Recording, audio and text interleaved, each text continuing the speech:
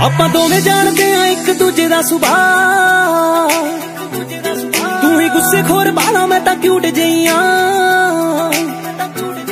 ਆਪਾਂ ਦੋਵੇਂ ਜਾਣਦੇ ਆ ਇੱਕ ਦੂਜੇ ਦਾ ਸੁਭਾਅ। ਤੂੰ ਹੀ ਗੁੱਸੇ ਖੋਰ ਬਾਲਾ, ਮੈਂ ਤਾਂ ਕਿਊਟ ਜਈਆਂ ਮੂੰਹ ਫੁਲਾਈ ਬੈਠਾ ਜਿਵੇਂ ਕੋਈ ਗੁਬਾਰਾ। ਵੇ ਮਿਸ ਯੂ ਇਨਾ ਸਾਰਾ, ਮੇਰਾ ਤੇਰੇ ਬਿਨਾ ਹੁੰਦਾ ਨਹੀਂ